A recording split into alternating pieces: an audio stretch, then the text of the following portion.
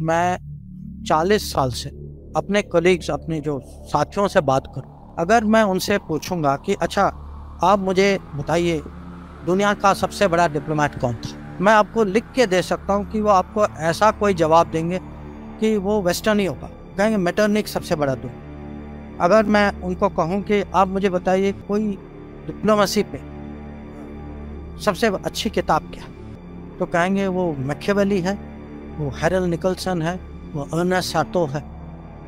मैं अपने ही लोगों को समझाना चाहता हूँ कि भाई, घर में देखो, अगर आप आप मेरे से पूछेंगे कि इतनी पढ़ाई के बाद आपको क्या लगता है कि दुनिया के सबसे बड़े डिप्लोमेट कौन थे? मैं कहूँगा सबसे बड़े डिप्लोमेट एक श्री कृष्ण थे, एक हनुमान जी थे।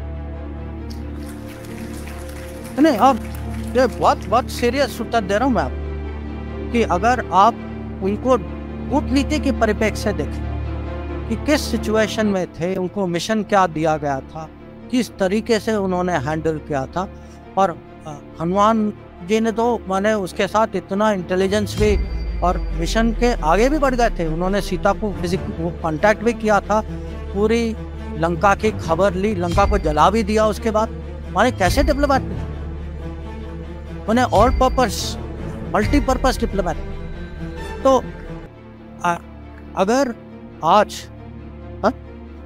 मैं आपको कहूँगा कि दुनिया के दस स्ट्रेटेजिक कॉन्सेप्ट जो आज की चर्चा में आज के डिस्कोर्स में दस बड़े स्ट्रेटेजिक कॉन्सेप्ट जो इंटरनेशनल रिलेशन मैं हर कॉन्सेप्ट का आपको एक महाभारत में इक्वलेंट दे सकता कि अगर आप कहें, अरे, आज मल्टीपोलर वर्ल्ड है। उस समय भी अगर कुरुक्षेत्र के मैदान में क्या हो रहा था, वो मल्टीपोलर भारत था, जिसमें अलग अलग राज्य थे। सबको कहा गया कि आप उनके साथ हैं, मेरे साथ हैं, एक दो नॉन अलाइन निकले बीच हाँ? जैसे बलराम थे या रुकमा थे। या अब हम कहते हैं कि ये ग्लोबलाइज दुनिया है इंटरडिपेंडेंस है, हम सब पे ये बाधाएँ हैं कंस्टेंट अर्जुन की दुविधा क्या थी? कंस्टेंट ही थी कि वो इंटरडिपेंडेंट थी। इमोशनली इंटरडिपेंडेंट थी कि मैं अपने रिश्तेदारों के खिलाफ मैं कैसे लड़ाई करूँ। पर वो भी इंटर वो फ़िज़िकल मटेरियल इंटरडिपेंडेंस है पर इमोशनल इंटरडिपेंडेंस थी। या हम कभी कभी हम कहते हैं, अरे, पाकिस्तान ने ये किया, वो किया। चलो, हम स्ट्रेटेजिक पेशेंस दिखाते स्ट्रेटेजिक पेशेंस का सबसे अच्छा उदाहरण जो है कृष्ण भगवान जिन्हों जिस तरीके से उन्होंने शिशुपाल को हैंडल किया, कि सौ बार उन्होंने क्षमा किया, सौ बार उसके बाद आपको पता उन्होंने क्या किया।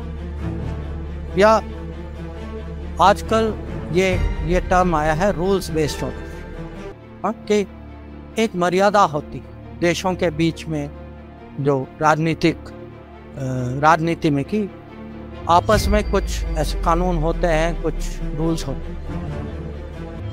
महाभारत की कहानी क्या है? कि जो रूल्स का उल्लंघन करते हैं जैसे कर्ण या दुर्योधन वो अपने आखिरी समय में खुद उनको अचानक रूल्स याद आ जाते कि वो कहते हैं भाई ये नहीं करो क्योंकि ये रूल के मुताबिक और पूरी ज़िंदगी जो है उन्होंने रूल्स उसी रूल्स का उन्होंने पालन नहीं किया था। तो आ, ऐसे बहुत सारी चीज़ है। आज हम कभी कभी आपस में हमारी डिबेट होती है कि हमारे खिलाफ हमसे बड़ा देश। अब ये याद रखिएगा कि पांडव जो है, पांडव कौरव की प्रपोर्शन जो थी वो सेवन टू इलेवन थी कि वो छोटी फौज थी उनके पास। छोटी फौज थी पर बड़ी सोच थी। अनुशासन ज़्यादा था क्रिएटिविटी ज़्यादा था इंटेलिजेंस ज़्यादा था और श्री कृष्ण उनके साथ।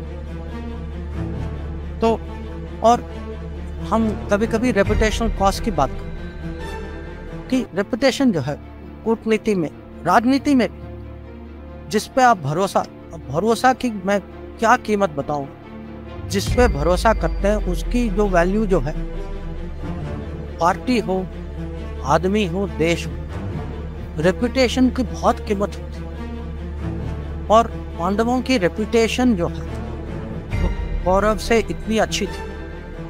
रेपुटेशन का बहुत फ़र्क और कभी कभी ये भी है कि जो बड़े गोल, जो लार्जर गुड के लिए कभी लोगों को माने टैक्टिकल एडजस्टमेंट करना पड़ता है। और ये भी इसके बहुत उदाहरण जो युधिष्ठर ने अश्वत्थामा के बारे में कहा। या जब अर्जुन ने शिखंडी को आगे किया, अब टेक्निकली आप कहेंगे कि ये गलत चीज़ क्या पर उन्होंने किया एक कारण के लिए।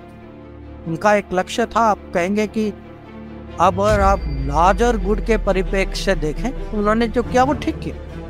आप टेक्निकली देखें तो अलग बात। तो ऐसी बहुत सारी चीज़ हैं, जैसे अब स्ट्रेटेजिक डिसेप्शन जो जब कृष्ण भगवान ने सूर्यास्त को, सूर्यास्त का एक किस्म से इल्यूजन क्रिएट किया तो जयद्रथ को लगा कि वो बच गए।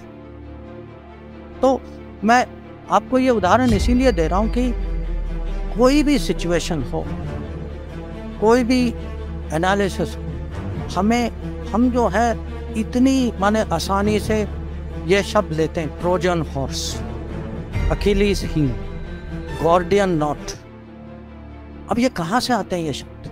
किसी और के कथा से आते हैं। अब मुझे उससे कोई दुश्मनी नहीं है। मैं भी वही कथा पढ़ता हूँ, मुझे भी उसमें रुचि पर मैं हमारे देशवासियों को समझाना चाहता हूँ कि भाई, आप अपने बारे में भी पढ़िए, इसका भी महत्व समझिए। हम आपस की बातें में कम से कम इसका तो प्रयोग करें कि अगर हमें स्ट्रेटेजिक कल्चर सचमुच अगर इंडियन स्ट्रेटेजिक कल्चर बनाना है इंडियन स्ट्रेटेजिक कल्चर दूसरों के अनुभवों और दूसरे के कथाओं से नहीं बनेगी। इंडियन स्ट्रेटेजिक कल्चर इंडिया के एपिक से बने